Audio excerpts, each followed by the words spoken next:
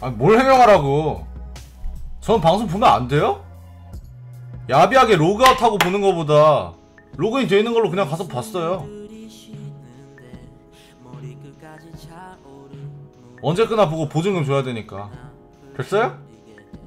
사할 생각 없고 보증금 주려고 봤어요. 전화번호 지워져가지고.